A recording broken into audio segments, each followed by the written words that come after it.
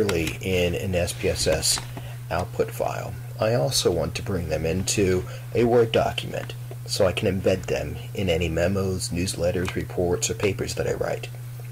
What I'll do is I'll scroll up to some of the earlier plots that I spent a little more time formatting.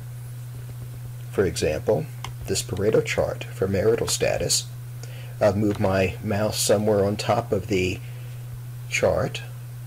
Click the left mouse button once to select it and you can see the thin black line all the way around it with the small squares in the thin black line at different parts around the chart.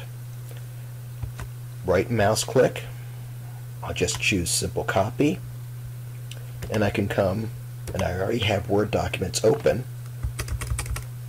I'll just hit a few returns, carriage returns, and now I can uh, just merely paste that chart into Word document.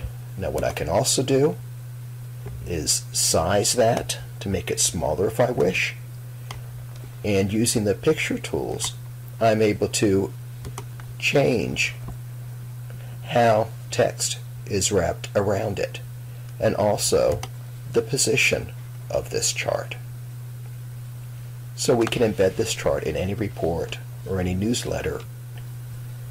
To give you an example of what it can look like, I've already created a mock newsletter where I've embedded two charts from the output we just created and placed a little text around it. To get a sense what it looks like when it be printed, I'll go over and do a print preview and you can see then what that will look like.